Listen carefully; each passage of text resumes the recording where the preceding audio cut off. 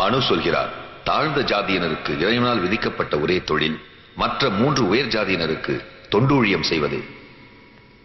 அப்படி செய்யும் ஊழியத்திற்கு அவர்கள் கூலி வாங்கக்கூடாது. காரணம் தாழ்ந்த ஜாதியினரிடம் செல்வம் சேர்வதை மற்ற மூன்று உயர்ந்த ஜாதியினர் என்றுமே விரும்புவதில்லை. தாழ்ந்த ஜாதியினர் உயர் ஜாதியினரிடம் வாய்த்திறக்கலாகாது.